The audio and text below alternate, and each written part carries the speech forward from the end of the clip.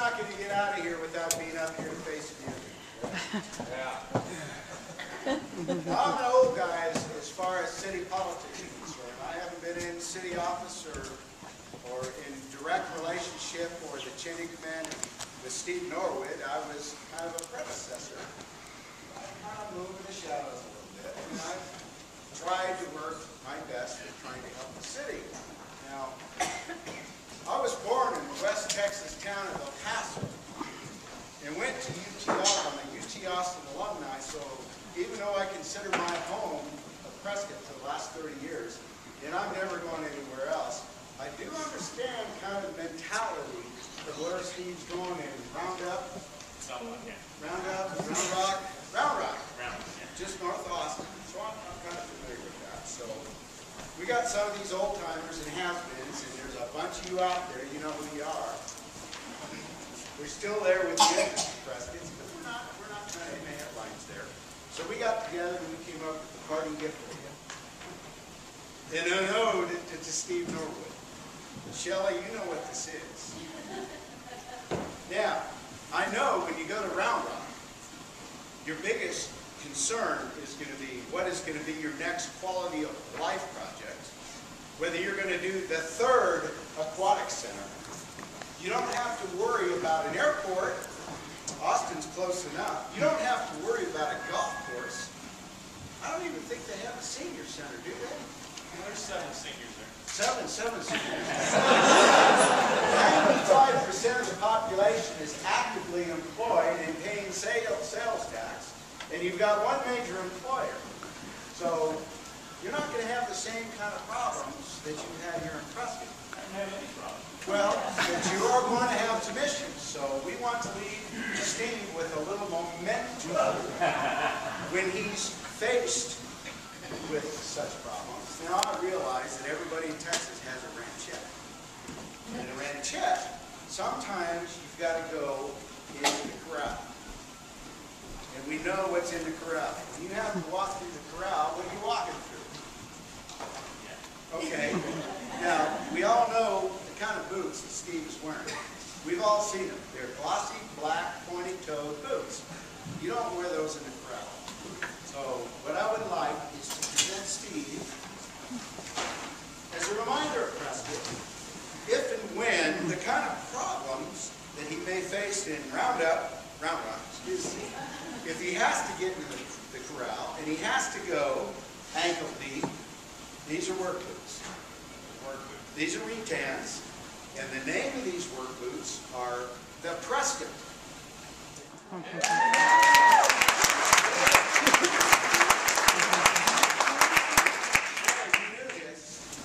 Anyway, these are the Prescott by the Ariat Boot Company, and the Ariat Boot Company makes boots, and the only ones they've named after towns have been towns in Arizona. They've got a Scottsdale, they've got a Flagstaff, they've got a something else, I don't know. A Scott, oh yeah, well, they got a Prescott. So, fit you, and when you run into that problem, think about rolling up your, your, your pants and getting on out in the crowd and going ankle deep with your Prescott boots. We know a little bit about changes in public works. So in that, that in mind, we thought that a change order would be appropriate for Steve Norwood. Steve, Mary Ann. Steve Norwood is the project. So, change order number one, you're directed to proceed promptly with the following change, and that is to relocate to Round Rock, Texas. And there, and there are reasons for change orders, and I want you to know what some of them are. Unforeseen circumstances. You know, we we really heard he got an offer he couldn't refuse. Differing site conditions. City Hall was either too hot or too cold. In career advancement, we, we heard a rumor that uh, he's going to work half as hard for twice the money. And then, and then there's the retention of his identity. You know, since he's been in Prescott, I think he's losing his Texas twang. I actually heard him in a conversation a while back say the seventh month of the year, July. and then there's the gourmet cuisine, you know, that, that he, that he misses in Texas. I think they call it uh, armadillo roadkill stew. And then there's the art and culture that he'll he'll experience. he'll be much closer in proximity to those Dallas Cowboy cheerleaders. But the real justification is, once a Texan, always a Texan. So, it is uh, my privilege to present this to you on behalf of Public Works. It's been signed by uh, acting city manager Lori Hadley, myself, the city attorney, and Mayor Marlin Kuykendall. And I want you to know it's been a real good thing.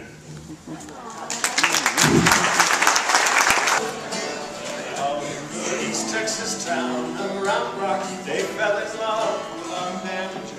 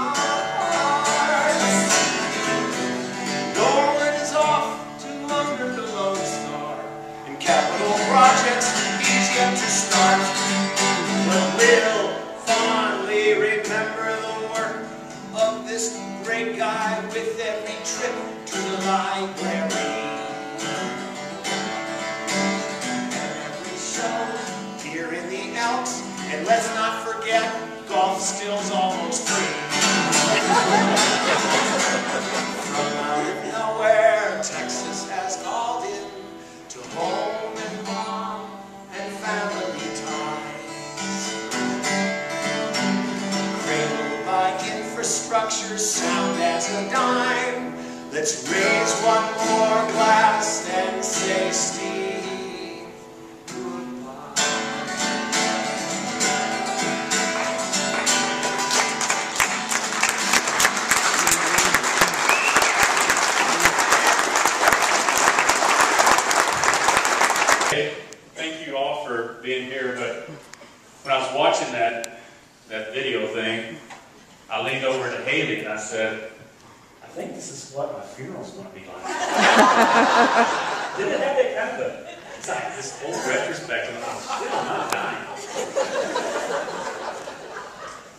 Don, I know what one means. You have been up to five or six before. So, no, it's, uh, you know, I'm not going to start introducing and thanking certain people, but, uh, uh, of course, you know, it goes without saying, Laurie and Rowley and Marlin, who I just, I'm sick that he's, you know, I only worked with him for a year. He's been a great mayor. Uh, but, you know, I've got a, a good friend of mine here, Tim Pickering, who is the former town manager in Fountain Hills. We interviewed together. He ended up getting the job, and we became close friends. And appreciate him being here, uh, but appreciate everybody being here. But you know, one of the things in, in my job, and and I I learned a little bit last night. Uh, you know, my wife and my kids. You know, if, unless you're in this job, and, and Tim knows it, the amount of sacrifice that you do for the public. And I'm not saying that to get soupy. I'm just saying everybody wants a little time with you. Everybody wants this. And whether you're in the grocery store or you're wherever, everybody wants a piece of you. And whether you're the mayor or city manager or whoever, people want that time. And, and I tell you, I enjoy what I do. Uh, my family has sacrificed a lot. Uh, but, you know, I tell you, Shelley's the, I always refer to her, and she knows this, she's, she's my governor. And uh, if I didn't have Shelley around, I don't know what kind of things I'd end up doing. Uh, but, you know, you know, Haley and Nick, they, they put up with a lot, and I think they've enjoyed a lot of it too. But uh, you know, we fell in love with this community, and I tell you, I'm uh, you know, there's always going to be a part of Prescott with me forever.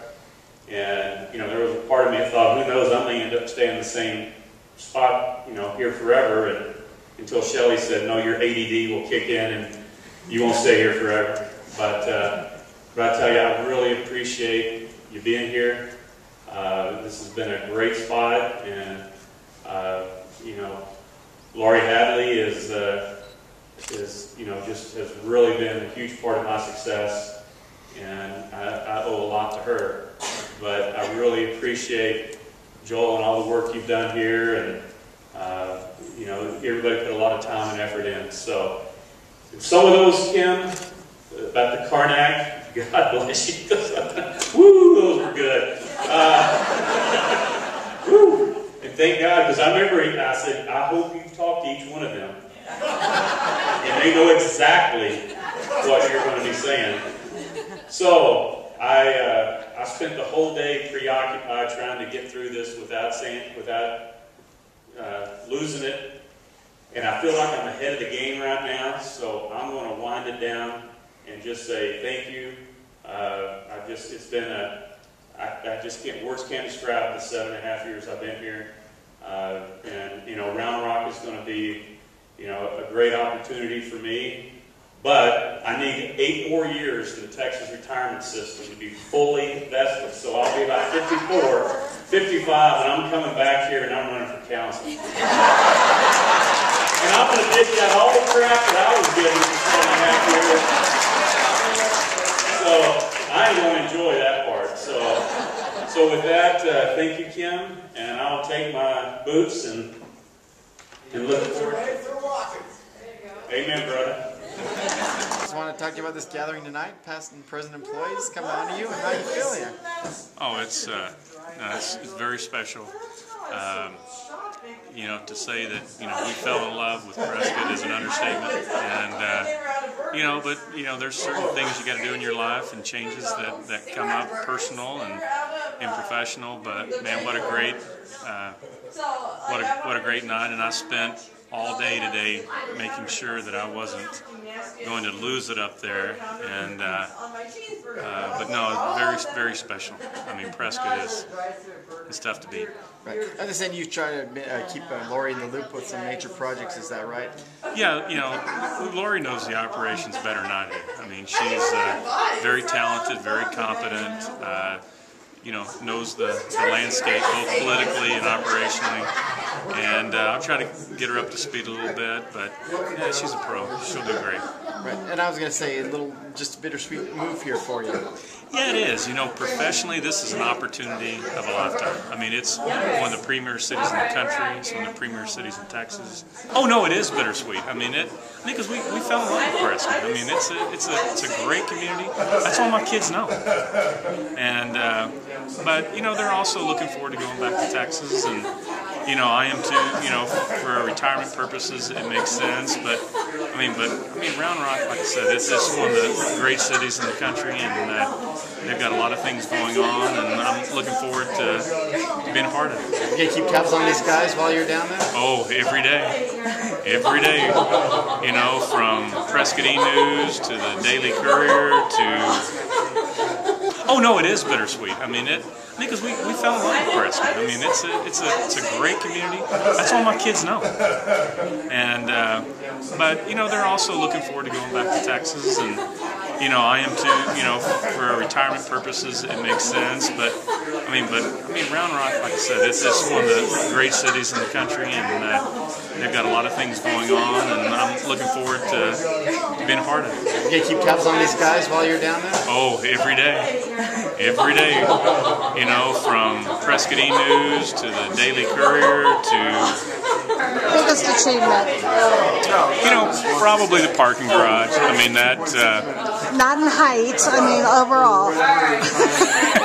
oh, that's, no, you know, it'd be the parking garage. Uh, but you know what? I think is, I think we've assembled a very, very good, uh, department head level. I mean, I think we've got a culture at the city that generally wants to do great customer service. They want to please. They want to do a great job, and and I think you know it takes some time to create that culture.